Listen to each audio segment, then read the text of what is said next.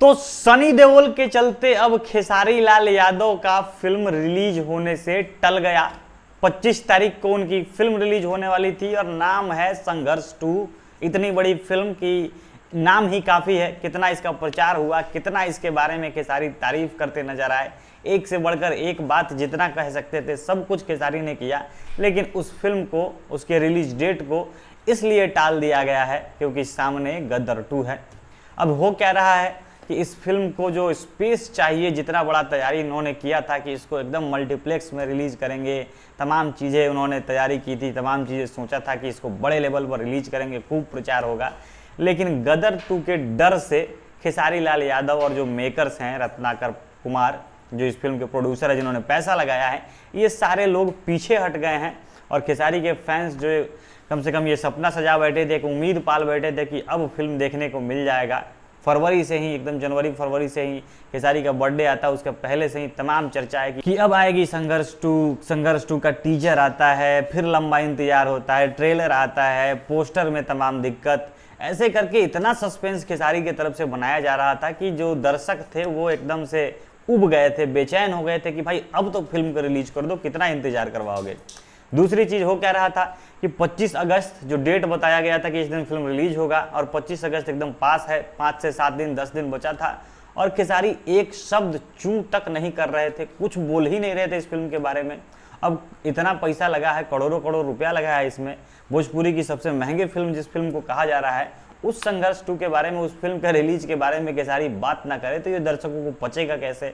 उस फ़िल्म के बारे में जिसके लिए खेसारी पवन सिंह जब दुश्मनी थी, तब उनसे मतलब मांग रहे थे ऐसे एक तरह से कहें कि आगे प्रमोशन कर दीजिए आप। निरहुआ से, रितेश पांडे जिनसे दुश्मनी है, उन सब लोगों से एक तरह से हाथ फैलाकर मांग रहे थे कि आप आइए और मेरे फ़िल्म का प्रमोशन कीजिए। उस फ़िल्म के बारे में अगर खेसारी बात नहीं करते रिलीज़ से पहले तो ये फैंस को कैसे पचेगा? और ये सब इसलिए चुप्पी साधी गई थी क्योंकि मेकर्स को और खेसारी को डर था कि गद्दर थ्री के, गद्दर टू के सामने जो हिंदी की गद्दर टू है, सनी देओल की फ़िल्म इसके सामने हम रिस्क नहीं ले सकते हैं रिलीज़ करने का। अब प्रॉब्लम क्या है? क्यों रिस्क है और डर क्या है?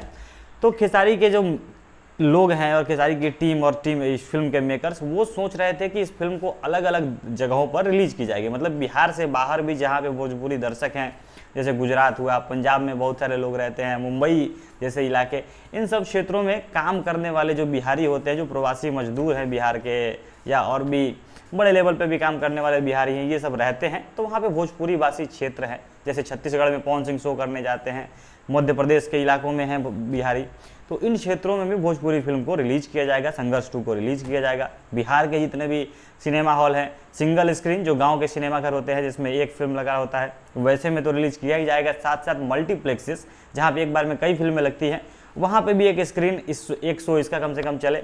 ये सब तैयारी ये लोग कर रहे थे, लेकिन गदर टू आती है और इतना ज़्यादा भाई लहर चलता है इसका कि अभी देखिए, एकदम रिकॉर्ड पे रिकॉर्ड बना रहा है रोज रोज इसका कमाई बढ़ते ही जा रहा है 300 करोड़ पार कर गई कमाई के मामले में। उल्टा पटना से एक ऐसा सूचना आया कि गदर टू का टिकट नहीं मिला। रीजेंट हॉल की बात है जो गांधी मैदान के सामने है।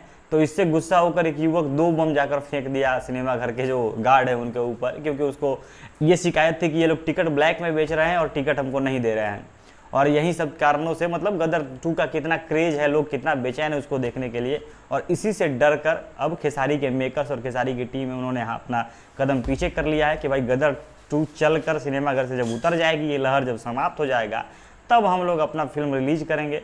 तब जाके हमारी फ़िल्म चलेगी, जो कमाई है वो हो पाएगी। क्योंकि अभी रिलीज़ करेंगे, सब लोग गदर टू देखने जाएँगे, कोई संघर्ष टू देखने नहीं जाएगा। और इसी डर ने खेसारी को अपना फ़िल्म वापस करने पे मजबूर कर दिया है।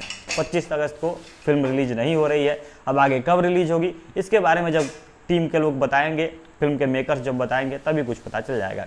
बाकी आप लोग क्या कहना चाहते हैं? खिसारी को पहले ही रिलीज़ कर देने चाहिए थी, या वो रुक कर गलत कर रहे हैं, या सही कर रहे हैं? अपनी राय आप कमेंट बॉक्स में बताइएगा। बाकी बने रहिए हमारे साथ, देखते रहिए हमारा वीडियो धन्यवाद।